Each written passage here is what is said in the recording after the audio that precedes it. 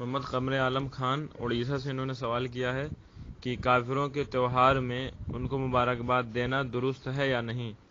या उनको, उनकी खुशी में शामिल होना और अगर वो मिठाई खिलाएँ तो उनकी मिठाई खाना, इसकी वजाहत फरमाएँ और बाज़ अवत कारोबार की भी ज़रूरत होती है तो जो वहाँ पर स्टाफ गैर मुस्लिम है, उनके साथ कैसे सलूक किया जाए, उनके त्यौहार में इसकी वजाहत फरमा दीजिए।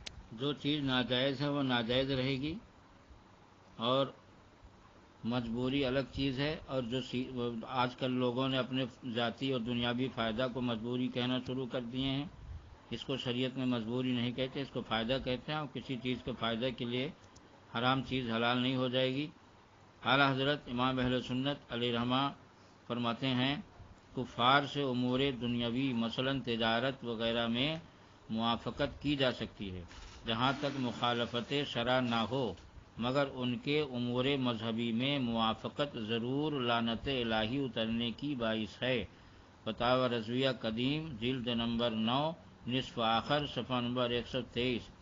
लिहाजा इस इबारत से मालूम हुआ कि गैर मुस्लिमों से मजहबी उमूर में मुआफ़त किसी तरह जायज़ नहीं है। ये लानत का बाइस है, जो ऐसा करेगा, वो अल्लाह की बारगाह में हाँ लानत का मुस्तक और मलून कहलाने का हकदार होगा।